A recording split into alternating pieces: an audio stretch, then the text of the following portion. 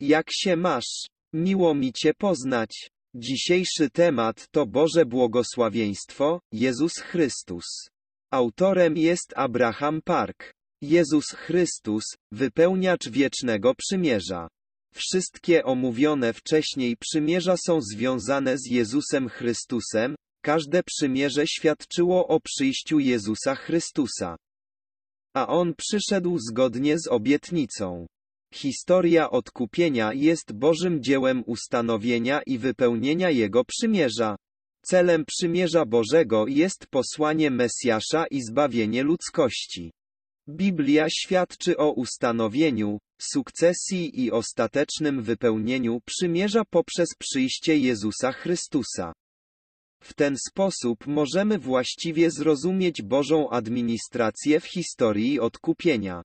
Kiedy przyjrzymy się bliskiej relacji między przymierzami zawartymi w Biblii a Jezusem Chrystusem. Kiedy Adam i Ewa złamali przymierze pracy w pięknym ogrodzie Eden, rzeczywistym miejscu w historii. Zostali wygnani, rodzaju trzecia 24. Wszyscy, którzy urodzili się po Adamie, stali się dziećmi śmierci i gniewu, zasługując tylko na śmierć z powodu grzechu. Rzymian 5:12, Efezjan 2-3. Oparte na obietnicy, nasienia niewiasty, które Bóg dał ludzkości po upadku, rodzaju trzecia 15, różne przymierza, które od tamtego czasu zostały nawiązane. Stopniowo narastały ku przyjściu Jezusa Chrystusa. Pierwszy. Przymierze Noego i Jezus Chrystus. Bóg ustanowił przymierze łuku z Noem, jego potomkami i wszelką żywą istotą.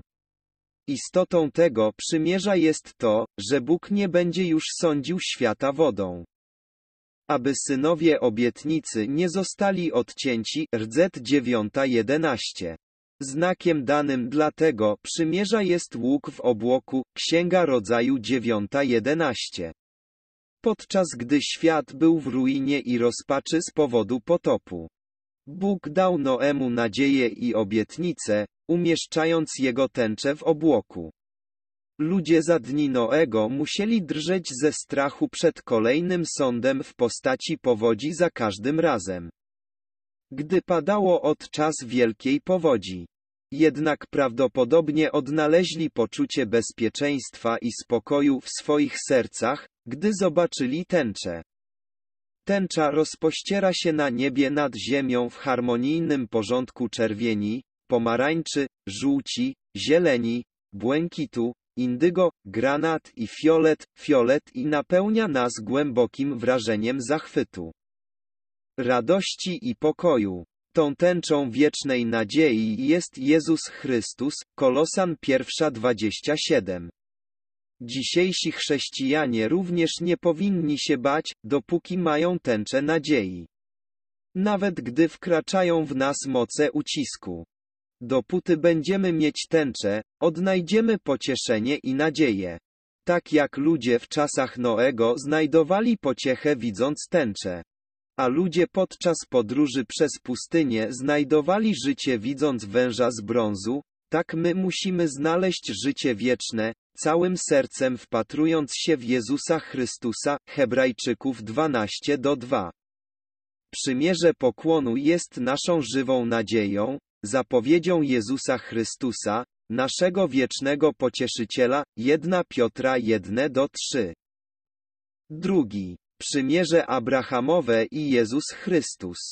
W Ewangelii według Mateusza 1 do 1 czytamy Księga rodowodu Jezusa Chrystusa, syna Dawida, syna Abrahama.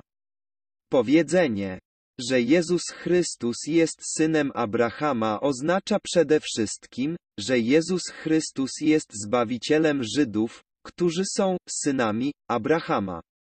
Jednak wszyscy, którzy wierzą w Chrystusa, niezależnie od ich pochodzenia, czy to Żydzi, czy poganie, są synami Abrahama. Galacjan 3 do 7, tak więc Jezus jest Zbawicielem wszystkich wierzących.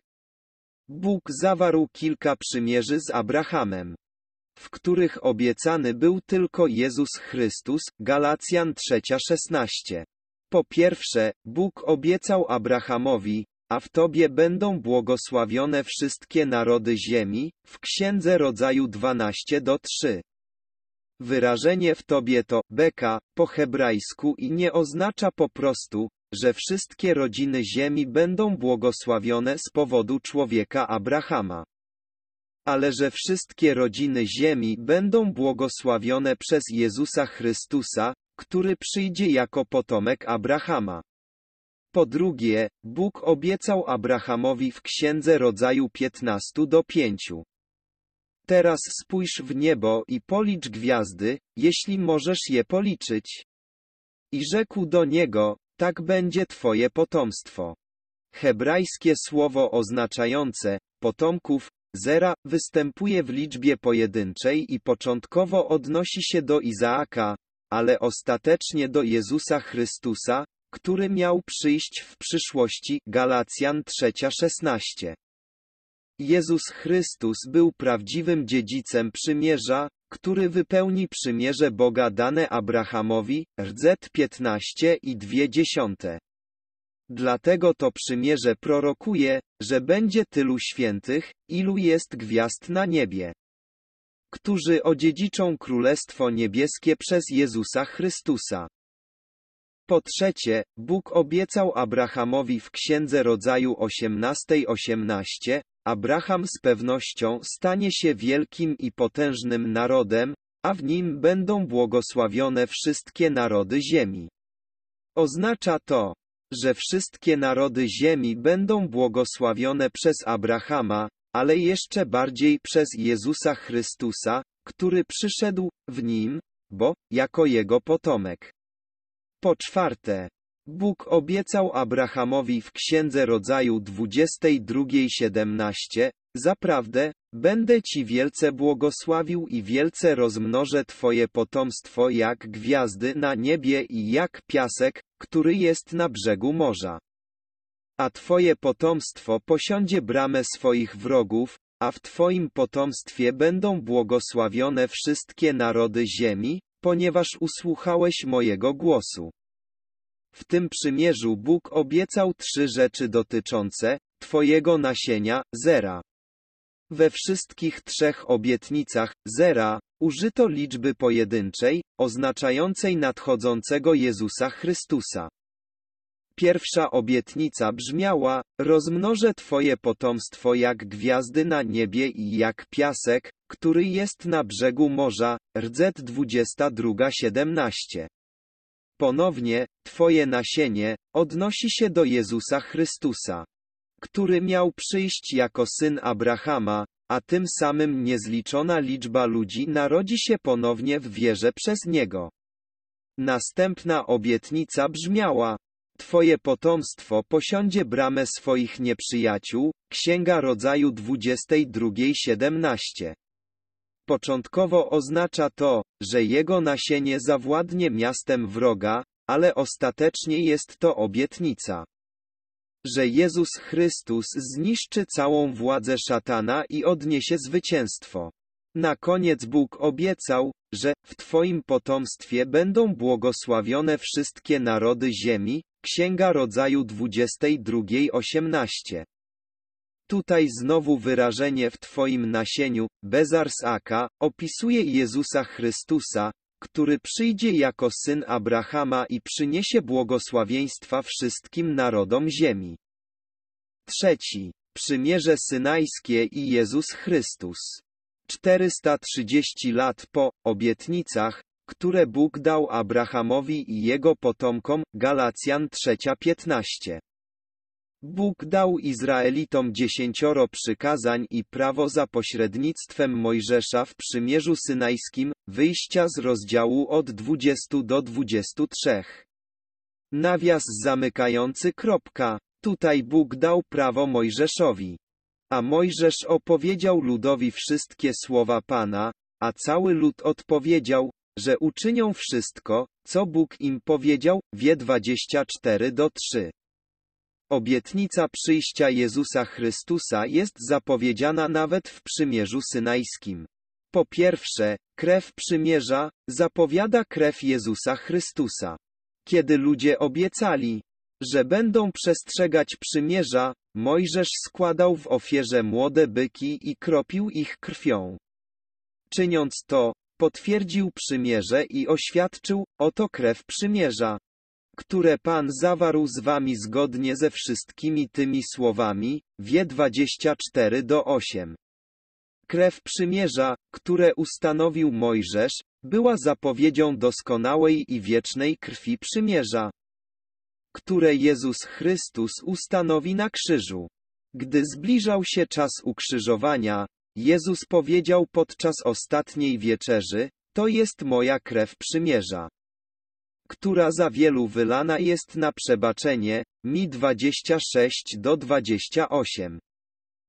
Krew zwierząt przebaczyła grzechy człowieka tylko raz, kiedy została przelana, ale krew Jezusa Chrystusa, która została przelana na krzyżu. Całkowicie usuwa wszystkie grzechy raz na zawsze, Rzymian 6:10. Po drugie, to pierwsze przymierze zapowiada nowe przymierze za pośrednictwem Jezusa Chrystusa. Pierwsze przymierze, w liście do Hebrajczyków 8 do 7 to przymierze synajskie, które Bóg ustanowił z ludem Izraela za pośrednictwem Mojżesza, dotrzymać tego przymierza. Nie mogli go całkowicie dotrzymać z powodu grzeszności i słabości, które wynikły z całkowitego zepsucia i upadku ludzkości. Pierwsze przymierze spowodowało, że ludzie tęsknili za nowym przymierzem które miało zostać ustanowione przez Jezusa Chrystusa. Jezus Chrystus jest pośrednikiem nowego przymierza Hebrajczyków 12:24, dlatego nie jest tak, że chrześcijanie trwają przy przymierzu o własnych siłach, ale raczej dzięki mocy Bożej i działaniu Ducha Świętego w Jezusie Chrystusie. RZ 8 do 2. Czwarty. Przymierze Dawidowe i Jezus Chrystus. Nowy Testament zaczyna się od Haju David Haju Abram, mi jedne do jedne. Jest to deklaracja, że Jezus Chrystus jest jednocześnie synem Abrahama i Dawida. Najważniejszą zasadą w przymierzu Dawidowym jest obietnica, syna, syna Dawida, 2 Samuela 7:12. Syn, którego Bóg obiecał dać Dawidowi, był mężem wytchnienia i miał zbudować dom dla Boga. A Bóg ustanowi tron królestwa syna na zawsze. 1 Kronik 22 do 9. To przymierze wypełniło się po raz pierwszy, kiedy Salomon, syn Dawida, zbudował świątynię jerozolimską i poświęcił ją Panu. Jednak obietnica, że syn przyjdzie i ustanowi tron królestwa na zawsze, jest ostatecznie obietnicą przyjścia Jezusa Chrystusa, który ustanowi wieczne Królestwo Niebieskie. Archanioł Gabriel powiedział do Marii, a Pan Bóg da mu tron swego ojca Dawida, i będzie rządził domem Jakuba na wieki, a jego królestwu nie będzie końca. Ełk 1 i 32 setne. To przesłanie jest uspokajającym świadectwem, że Jezus Chrystus przyszedł jako ten, aby wypełnić przymierze Dawidowe, DZ 1333. 5. Nowe przymierze Jeremiasza i Jezusa Chrystusa. Bóg posłał proroka Jeremiasza i ustanowił przymierze tuż przed zagładą Jerozolimy. Centrum i wykonawcą tego nowego przymierza był Jezus Chrystus. Jezus nazwał to nowym przymierzem we krwi mojej, 1 Koryntian 11:25, a autor listu do Hebrajczyków nazywa Jezusa pośrednikiem nowego przymierza, Hebrajczyków 9:15. Jak Jezus został opisany w nowym przymierzu? Po pierwsze, zapowiada zmianę charakteru i serc ludzi poprzez Ewangelię Jezusa Chrystusa. Jeremiasza 31 do 33, ale to jest przymierze które zawrę z domem Izraela po tych dniach, mówi Pan, umieszczę w nich moje prawo i wypiszę je na ich sercu, i będę ich Bogiem, a oni będą moim ludem. Hebrajskie słowo oznaczające wnętrze w tym wersecie to kereb, co oznacza część wewnętrzna lub pośrodku. Odnosi się do wewnętrznej myśli, wewnętrznych uczuć lub charakteru człowieka. Hebrajskie słowo oznaczające serce to leb, co oznacza wewnętrzny człowiek lub umysł. Podczas gdy prawo Starego Testamentu było przymierzem, które zmienia zewnętrzne aspekty osoby. Nowe przymierze jest tym, które zmienia charakter i wewnętrznego człowieka osoby Ezechiela 11:19. Jezus obudził ludzi do istoty grzechu, gdy mówił o tym, że cudzołóstwo bierze się z charakteru i serca człowieka. Aż do nauczania Jezusa ludzie byli potępiani tylko na podstawie ich zewnętrznych zachowań. W Ewangelii Mateusza 5:27 powiedział, słyszeliście, że powiedziano, nie cudzołóż, ale ja wam powiadam, że każdy, kto porządliwie patrzy na kobietę, już w swoim sercu dopuścił się z nią cudzołóstwa. Do czasów Jezusa prawo nie było wypisane na sercach ludzi. Ale nowe przymierze w Chrystusie jest prawem wypisanym na sercu Hebrajczyków 8:10. Nowe prawo wypisane na sercu to nic innego jak Ewangelia Jezusa Chrystusa. Słowo pisać to katab, co oznacza wpisywać. Jest to epigrefo po grecku, co oznacza także wpisywać. Słowo to jest używane do czegoś, co jest trwale wyryte w kamieniu, a nie tylko zapisane powierzchownie. Kiedy Ewangelia Jezusa Chrystusa jest wypisana w naszych sercach, możemy wejść w wieczną relację z Bogiem i w ten sposób spełni się obietnica, będę ich Bogiem. A oni będą moim ludem, list do Hebrajczyków 8:10. Kiedy prawo Boże nie było wypisane w sercach Izraelitów, opuścili go, zdradzili i zbuntowali się przeciwko niemu. Kiedy jednak prawo Boże zostanie na zawsze wypisane w ich sercach, staną się wiernymi ludźmi, którzy nigdy nie porzucą Boga. Po drugie, zapowiada całkowite przebaczenie, jakiego udzieli Jezus Chrystus. Jeremiasza 31 do 34 i nie będą znowu nauczać, każdy swoim bliźnim i każdy swoim bratem, mówiąc, poznaj Pana, bo wszyscy mnie poznają. Od najmniejszego do największego z nich, wyrocznia Pana, przebaczę im nieprawość, a grzechu ich więcej nie wspomnę. Użyte w tym wersecie słowo wiedzieć to, jada, w języku hebrajskim. Oznaczające wiedzę zdobytą przez całą osobowość, a nie tylko przez intelekt, pełną wiedzę, tak jak widzimy, twarzą w twarz, 1 Koryntian 13:12. Jak takie zjawisko jest możliwe? Jeremiasz 31 do 34 wyjaśnia, że jest to możliwe, ponieważ Bóg przebacza ich nieprawości i nie pamięta już ich grzechów.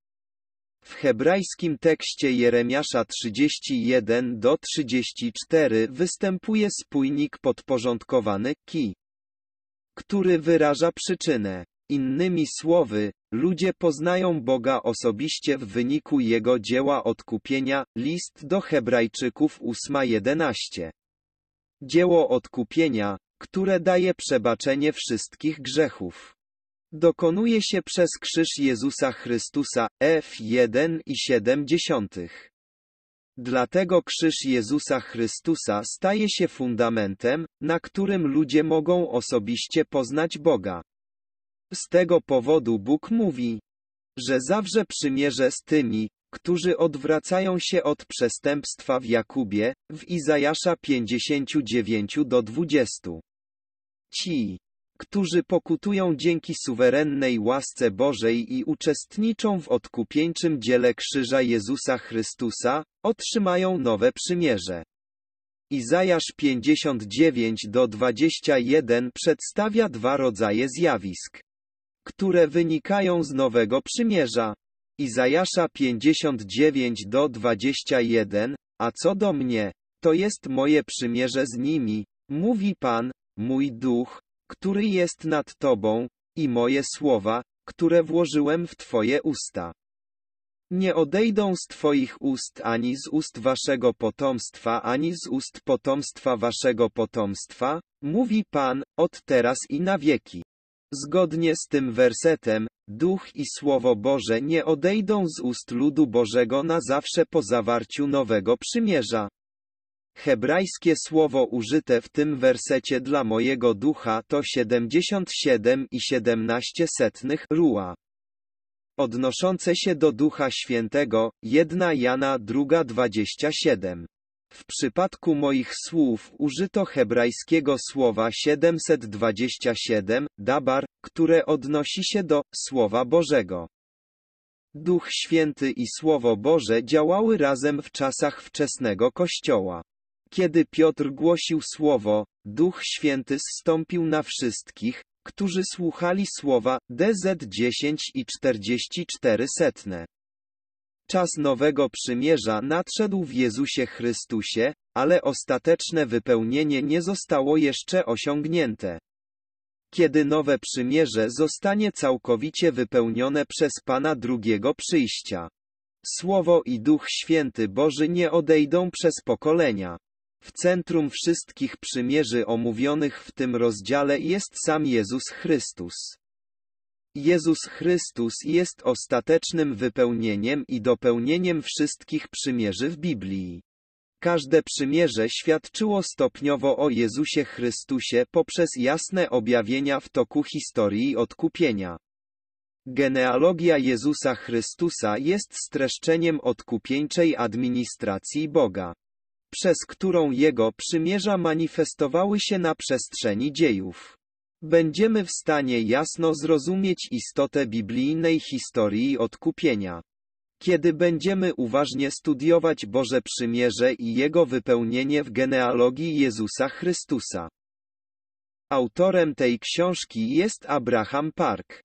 Abraham Park był uznanym światowej klasy teologiem o niezwykłej duchowości duszpasterskiej. Całe swoje życie poświęcił modlitwie i Pismu Świętemu czytając Biblię ponad 1800 razy. Przez całe życie był prawdziwym pastorem, który kochał Kościół i zgromadzenie jak własne dzieci. Jego plan dnia składał się z dwugodzinnych modlitw i trzygodzinnych czytań biblijnych, a także nieustannego głoszenia i ewangelizacji. Z przekonaniem, że umrzeć to żyć, Robił co mógł w swoim życiu modlitewnym do Boga przez trzy lata, sześć miesięcy i siedem dni w głębokich górach.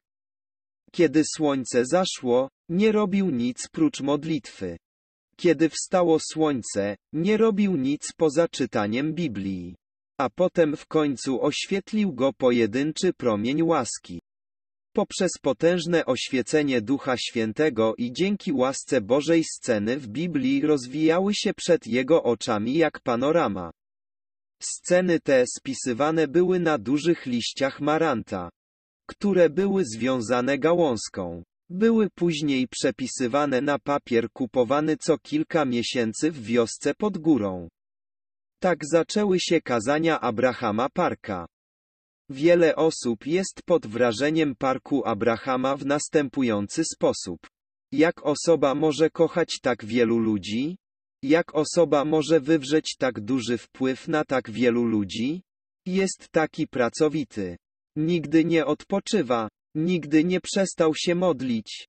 Zasługuje na prawdziwy szacunek za swoje oddanie Kościołowi i zborom. Prawdziwy i wierny pracownik Boży.